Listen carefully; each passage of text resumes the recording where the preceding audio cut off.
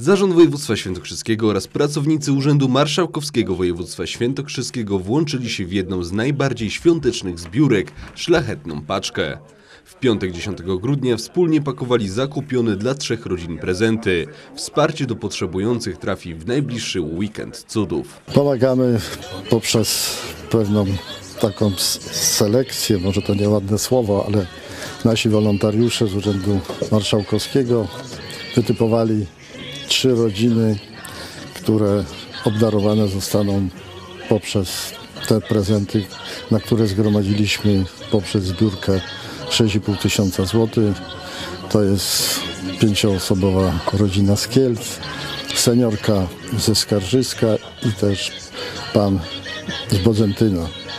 W ramach tej akcji za te środki zgromadzone dobrowolnej zbiórki zakupiliśmy dwie pralki, tonę węgla koksującego, można powiedzieć wysokokalorycznego i dużo środków chemicznych oraz słodycze dla najmłodszych członków tych rodzin. Czas przedświąteczny to okres, gdy wszystkie serca otwierają się dla najbardziej potrzebujących. Nie inaczej było w Urzędzie Marszałkowskim, gdzie każdy dołożył swoją cegiełkę do szlachetnej paczki.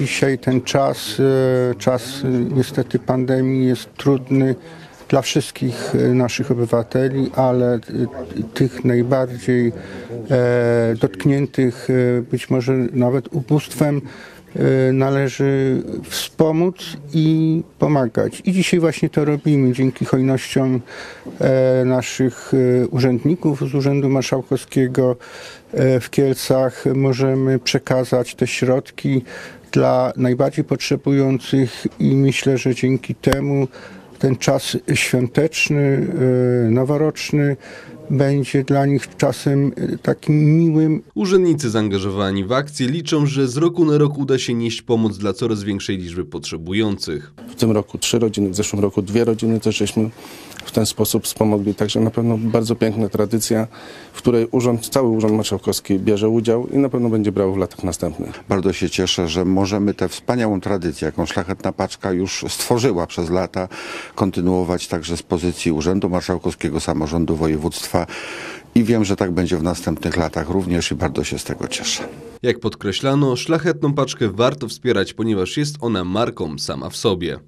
Szlachetna paczka to jest już marka od wielu lat, chociaż w ostatnich latach brakuje osób, które chcą wspierać te rodziny, rodziny potrzebujące, osoby potrzebujące. Dlatego tak ważne jest, abyśmy mówili o tym i pokazywali.